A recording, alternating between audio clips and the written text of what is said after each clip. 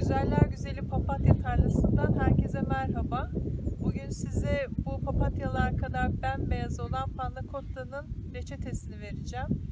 Ee, panna cotta'nın anlamı panna krema, cotta ise pişmiş anlamına geliyor. Yani pişmiş krema.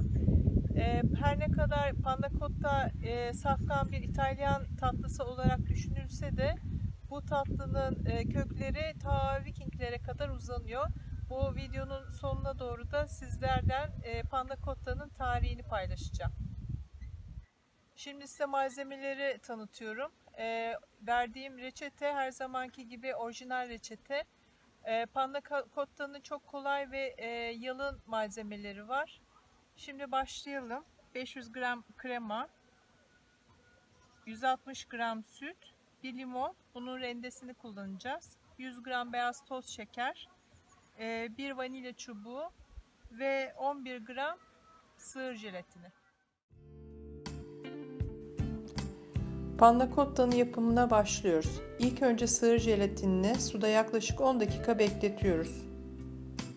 Sonra sütü, toz şekeri ve kremayı tencereye koyup ocağı orta ateşte açıyoruz.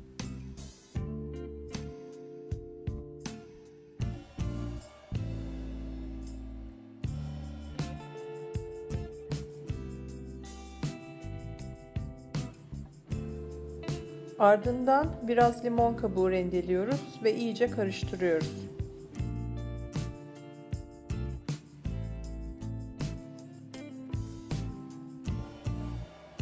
Krema pişerken vanilya çubuğunun çekirdeklerini çıkartıyoruz. Eğer vanilya bol çekirdekli ise yarısını kullanabilirsiniz. Ben öyle yapıyorum.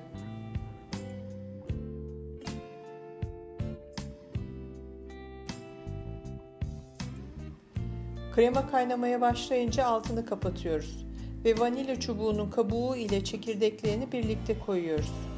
Hemen sonra suda beklettiğimiz sığır jelatinlerinin suyunu iyice sıkıp kremaya ekliyor ve iyice karıştırıyoruz.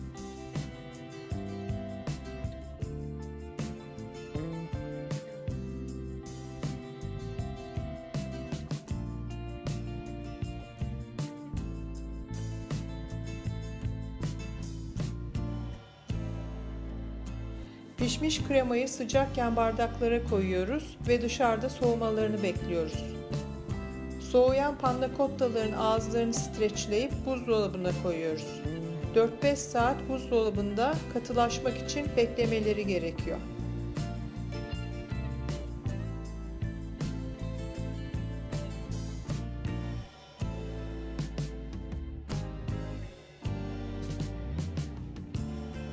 Panda cotta çeşitli soslarla yeniliyor. En bilinenleri karamel, çilek ve frambuaz. Ben bugün frambuaz sosu yapmayı tercih ettim. Sosu yapmak için 350 gram frambuazı, 30 gram pudra şekerini ve yarım limon suyunu tencereye koyuyoruz.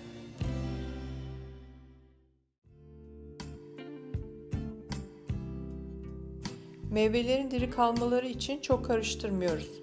Kısık ateşte hafif bir şekilde kaynamaya başlayıncaya kadar pişirip sonra soğumaya bırakıyoruz.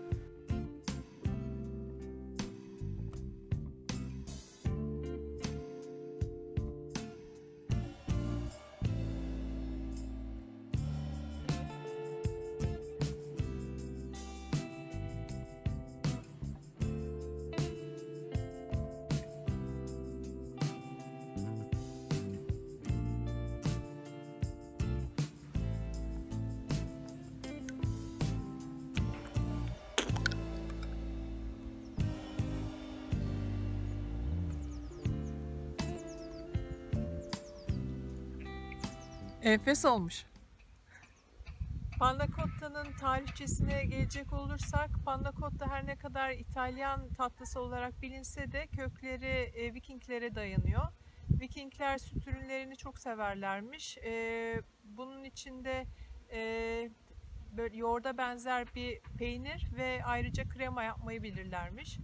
Daha, Daha sonra, sonra 1200'lü yıllarda e, Danimarka'da e, Danimarkalı e, Henrik Harpestrand kendisi e, botanik bilimcisi ve doktor panna cotta'nın ilk reçetesini yazıyor.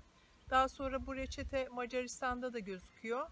E, Panna Cotta'nın e, izlerini takip edecek olursak sonrasında e, bu izleri e, İtalya'da Piemonte bölgesinde görüyoruz. E, Lange, Piemonte'nin Lange e, tarafında yaşayan bir Macar kadın e, Panna Cotta'yı ilk defa yapıyor. 1900'lerin başında. E, 1960'lı yıllarda ise e, Itre Citrone, Cuneo'da bulunan Itre Citrone adlı restoranın şefi Ettore Sangia e, bugünkü kullandığımız, e, yaptığımız panna cotta'nın reçetesini yapıp son haline getirip kendi menüsüne koyuyor. Ne kadar güzel bahar geldi. Herkese bu bahar coşkusunu ağız tadıyla yaşamasını diliyorum. Size çok güzel günler diliyorum. Çavam içi.